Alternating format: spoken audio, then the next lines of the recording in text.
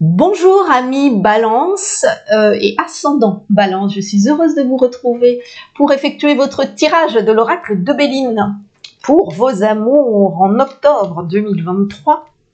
Donc je vais m'adresser aux, couples, mais aussi aux célibataires, on va voir hein, ce qui sort. Alors, Balance, amour 2023. Ouh, pardon, je claque un peu fort les cartes parfois. La coupe, la coupe. Bon, la coupe, elle est un peu mitigée. on va voir. Elle, euh, donne euh, une coloration au jeu. Elle ne fait pas tout.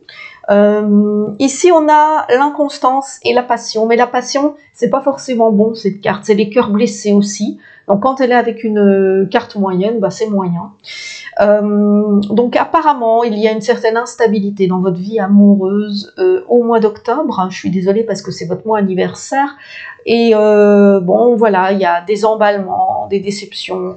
Euh, on va voir, parce que je peux pas trop parler sur juste une coupe. Et si ça se trouve, bien le tirage sera meilleur. Balance, amour.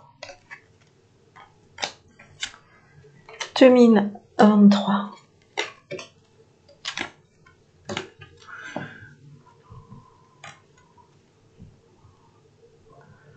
on attend un accord là qui arrive ou pas? Oui, on attend des nouvelles, un accord. Eh, excusez-moi, je suis obligée. Bah, d'en retirer. Bon, alors j'ai l'impression en fait, euh, ça m'explique un petit peu. Euh, j'ai l'impression que le tirage il n'est pas tellement affectif. Donc oui, on a vu dans la coupe que c'est un petit peu moyen parce qu'en fait, euh, j'ai l'impression que vous allez être très très préoccupé, préoccupé euh, vous voyez, votre humeur va être inconstante.